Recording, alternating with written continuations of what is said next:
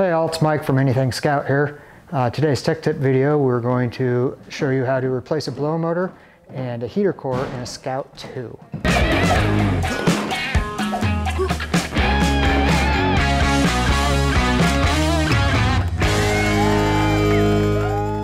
So we're going to start with what we need to do to replace heater core and a blower motor in a Scout 2.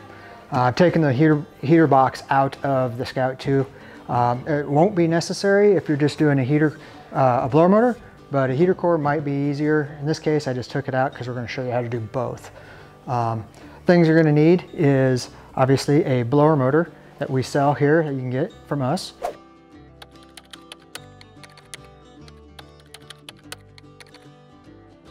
Also, a new heater core that we're going to install that you need to, that you're going to need. Um, I have some seals that we'll get to later, uh, how to seal up the heater core to the heater box. Um, tools are pretty easy. Uh, screwdriver, uh, Allen wrench, something to scrape, razor blade, uh, socket, and crescent wrench will I'll get to later. Uh, so first, what I'm gonna do is I'm gonna try to uh, just take apart the heater box so we can see what we got, see what we need, see what we need to do. So I'm gonna start with the heater core here. Um, our new heater core comes with, as you notice, the fittings for the hose uh, on the old one are curved. This is a factory styled one. Uh, the replacement ones are straight. So when I take this apart, there's a bracket here that goes on here. We're not going to reinstall that, but I would keep that around in case you ever go back to find this styled heater core. So first, there's just Phillips screws here. We're gonna take apart. Keep your hardware because we will reuse it.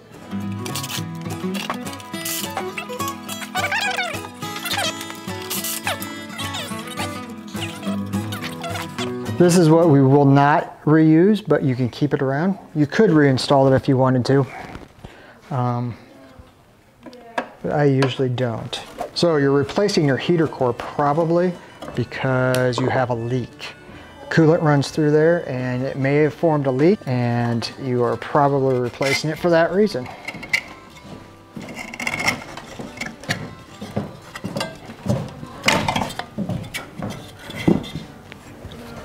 So we're going to slide the heater core out. Notice you have foam strips here. That's why I have those foam strips we'll reuse. So I'm gonna set this down right over here. There, simple enough. Heater core is now removed. Well, we're gonna go ahead and now remove the blower motor. Blower motor's on this side. We have a, a cup that goes on the end of the blower motor. Um, we will reuse this, so we're gonna take this off and save the hardware.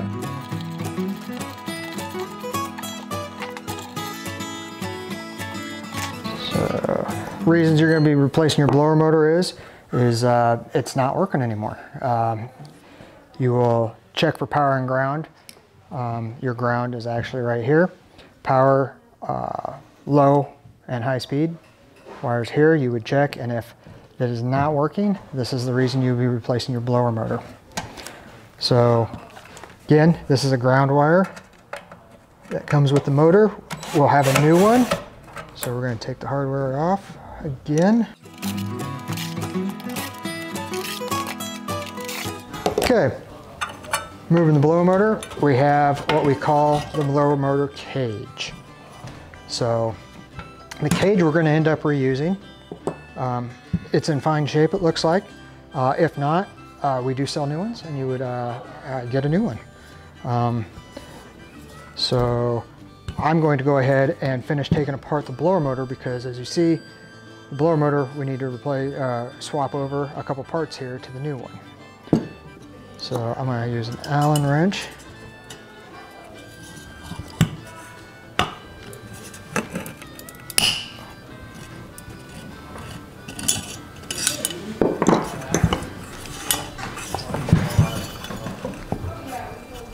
And here's a good, what happens is it will stick on the uh, shaft here. So we're gonna have to uh, tap this off and I need to go get a hammer to do that. So bear with me just a second. got my hammer. And now we're gonna try to tap this. What I do is I kind of pick up and hold it up in the air like this, not real stable. But then I'm gonna whack it right here and it'd be actually on the end of the blower motor shaft. See if we can get this cage off of there.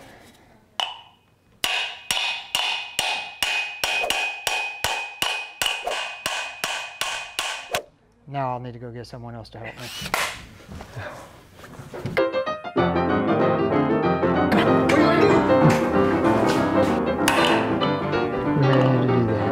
Once again, we need some lube. And there he goes.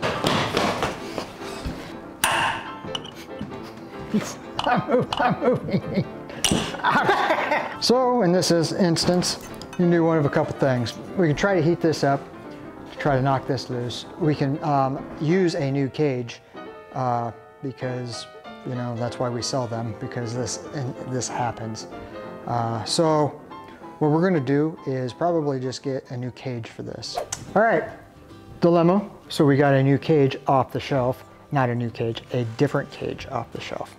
Um, so it is usable, so we can put this one back together right now. We also have this back plate, but before we put the back plate on, we have to put this gasket on. So this gasket goes over the studs like so. So we'll slide those on. This backing plate will slide on. And we're gonna use the, these nuts. All right. So before I put my cage on, um, there is no seal that goes between here and the case. Some people do put some things on there. I don't like to do that. That's not the way it came. So I'm just gonna make sure that I don't have anything interfering.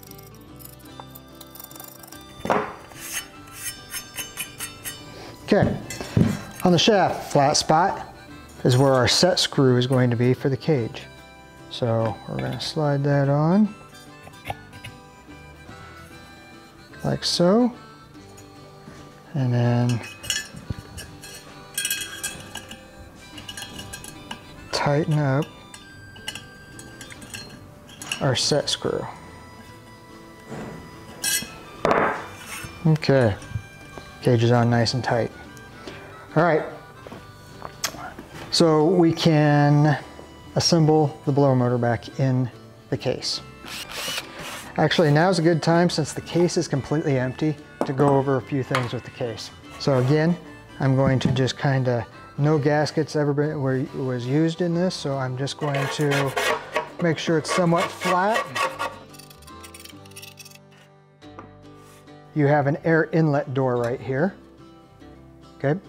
And there is some rubber that is on that, acts as a seal as it closes. Okay, yours may be torn or maybe missing. Now is a good time to uh, replace that if necessary. This one is really good, in really good shape. All you would do is find some maybe eighth inch piece of rubber, cut it about like so, and then they use staples at the factory to do it, as you can see. Really hard to staple through that.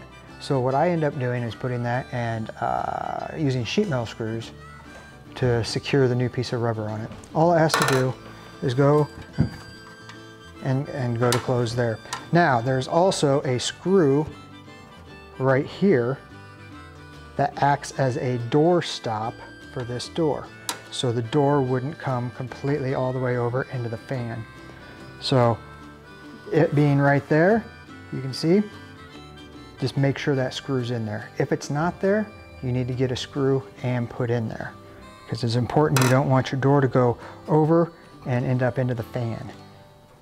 So other things I look for now with the case with it being empty. Um, all these flanges that mount up to the vehicle, I try to make sure if they're straight or not. And if they're not straight, I try to straight, I, I straighten them.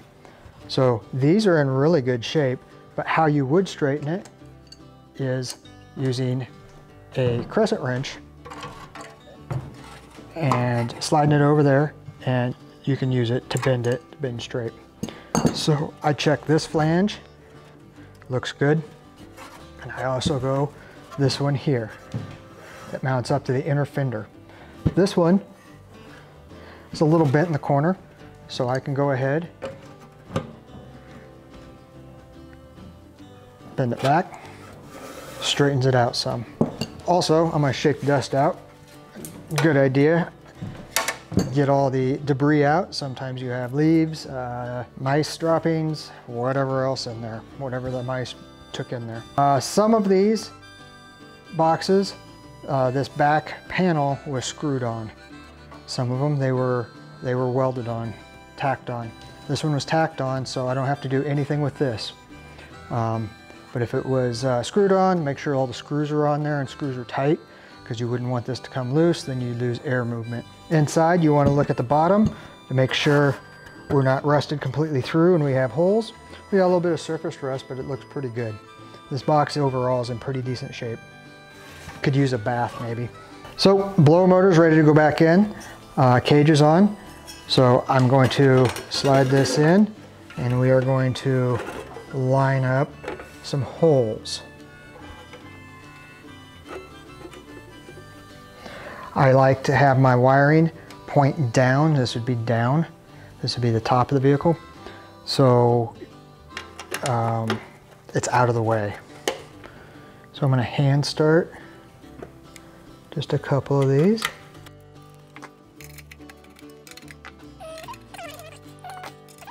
Remember I said no gasket on this?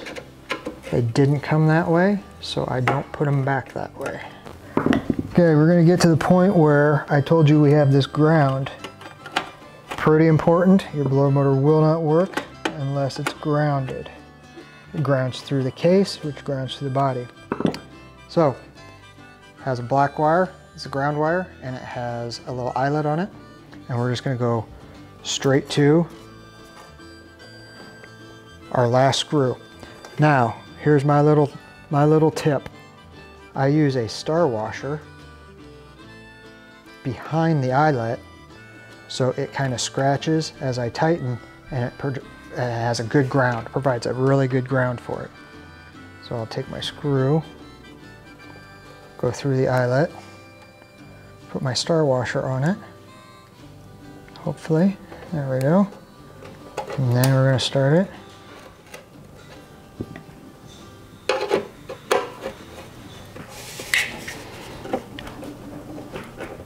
Boom. It's tight. The star washer's dug into the metal, scratched it up. Now it's gonna have a really good ground, so that's not gonna be an issue. Now that I've got them all started, I'm just gonna go around, snug them all up. Don't over tighten them. You could strip out the screw and then that will never, then you have to use like a, a bigger screw. So we're down to putting this outer cup back on. Oop, there it is.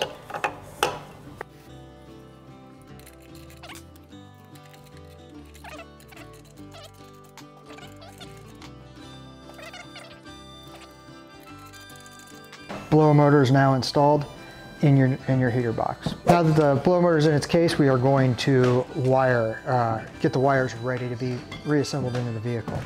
Now there's a few ways you can do this. Um, the way we do it here is we go ahead and put new terminals and a new connector on. Um, you can get these. Uh, some people can't uh, uh, have troubles finding them or, or, getting them, so we there's another way you can do it. You could cut the old ones and leave yourself a pigtail and then you can wire it directly to this. If you do that, do not use a butt connector that, that has no heat shrink tubing on it. Um, water and moisture will get in here, it'll corrode that, and then you'll have issues down the road. So if you go about doing it that way, use a butt connector and use some shrink tube over the top of it. That way it'll be weather tight. Okay, I'm going to show you how we do it here at Anything Scout. Um, we're going to use these new terminals and put a new connector on. So these, these are already stripped back, but they're a little long for what I need, so I'm going to cut a little bit of this off. Put the terminal on there.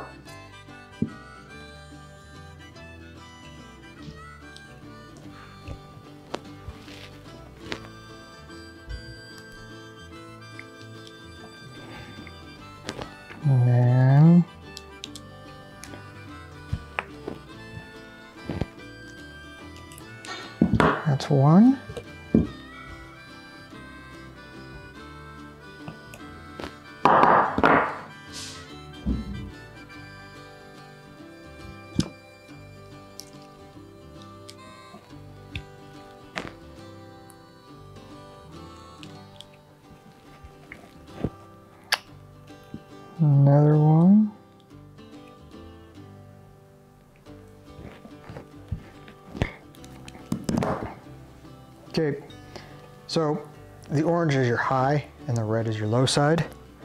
Um, so your orange will go in this top one. And your red will go in your bottom one. And there you go. All right, now we're gonna reinstall our new heater core. Um, so we're gonna turn the box around. So you can't just set your heater core in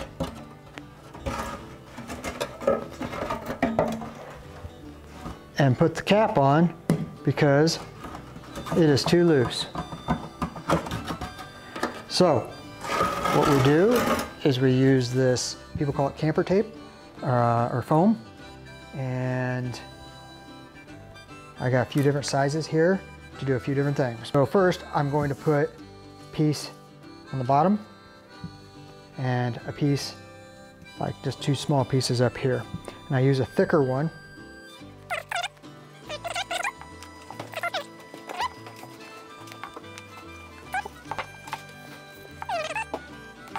We do this because you do not want your heater core to flop around in there because if it does, these tubes, they rub up against the box itself and then you can wear a hole in it and you'll start leaking prematurely. And no one likes premature leaking. We will uh, keep it still in the heater box. So that'll keep it from moving up and down. Once we put the caps on and put it in there, now we need to keep it from moving side to side. my little scissors. Everybody makes fun of me. Okay, so I'm gonna wipe this cap out.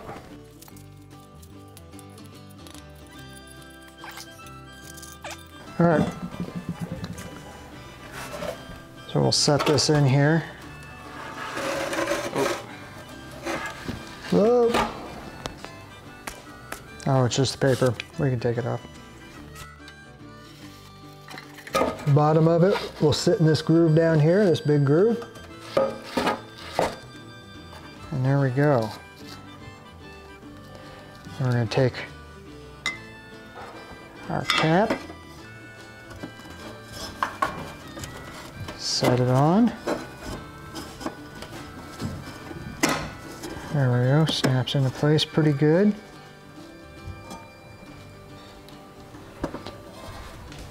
And I kind of move it around to see if it's good or not. You try not to like have a, a lot of movement. A little movement's fine because it'll be against, but I'm gonna see how, what we have. And I have a little movement this way, not so much movement going this way, which is good. And the movement in and out is pretty good. So I have a little bit of movement side to side. So what I'm gonna do is take the cap back off. And that would be along these edges right here. So I'm gonna go ahead and throw a little bit more foam on that to keep it from sliding.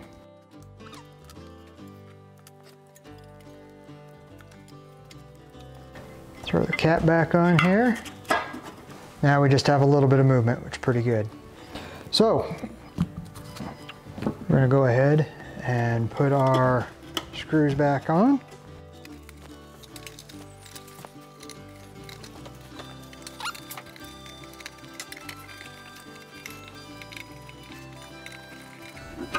All right, new heater cores in. One last thing. We're gonna go put, when, we, when you wanna put this back on your vehicle, we do wanna seal these edges where it goes into the inner fender and this piece here that wants to go into the, uh, the inner cab through the firewall because you don't want any air seeping through this. So again, we'll go to our tape, our foam tape, and we'll just cut us some pieces that will fit there.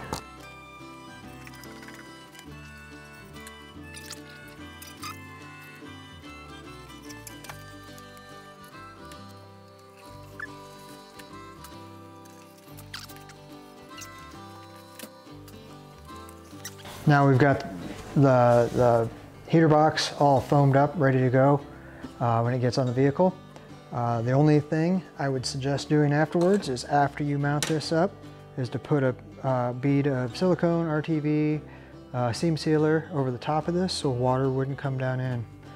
Um, other than that, that is a rebuilt Scout 2 heater box um, with a brand new Anything Scout blow motor and Anything Scout heater core.